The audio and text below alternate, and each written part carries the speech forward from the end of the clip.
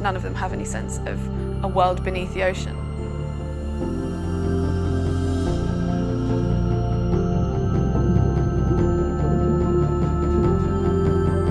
I use technology in the classroom so that I can reach beyond the walls. Uh, you know, we look for those moments where the kids have their eyes wide open and you get those big smiles on their face when something finally clicks.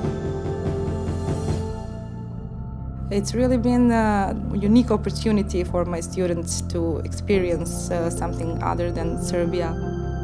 Today we are gonna have a chat with Fabien Cousteau, who is at the bottom of the sea in the one and only uh, underwater lab uh, called Aquarius. He is gonna be uh, on Skype with us live, so you'll get a chance to talk to him.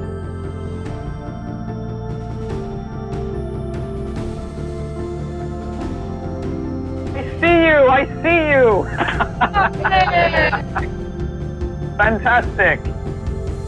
Welcome to the bottom of the sea in the world's only undersea marine laboratory, Aquarius. We're 63 feet down from the surface. Uh, we're uh, nine miles offshore of the Florida Keys in the Atlantic. Aquarius is unique because it's the world's only undersea marine laboratory left in the world. We're basically basing Mission 31 off of something my grandfather did 50 years ago. For the first time on a Cousteau expedition, uh, we have live cameras inside and outside the habitat. We are uh, tuned into your camera. Hi. Hello. There's a stingray. That's really neat. And there are some groupers. Look at that tarpon. So there you go. You get a little taste of uh, what it's like to live and work underwater. The kids were just amazed at how easy it was, and you know they saw that format as well as being able to connect easily and communicate with someone whether they were 6,000 miles away or 200 miles away. Hi, I'm Chase, and is it easy to fall asleep underwater? I can show you, if you like, what it looks like to sleep in the sea. So here we go. And you can see right here is our sleeping quarters.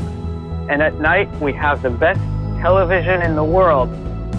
I think the most memorable moment of calling Mission 31 today was seeing my students' faces when they looked out of the window.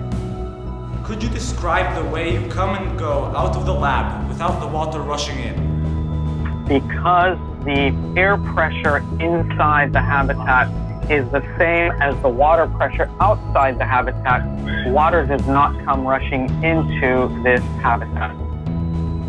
You can make them feel like they're connected to a world that as children they might not feel connected to in the first place.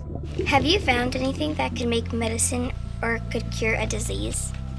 There's so much left to be discovered out there with regard to cures for different ailments. We've only explored less than 5% of our ocean.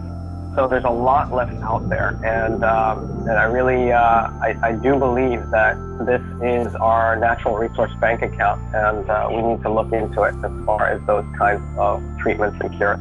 Thank you for this opportunity to visit your uh, lab. It was amazing because uh, I spoke with someone who is under the sea. Mine was when they had a view from the scuba divers, so you get to see what they see. Yeah, well, it would be pretty cool if we did that kind of learning every day because it's a different take to subjects.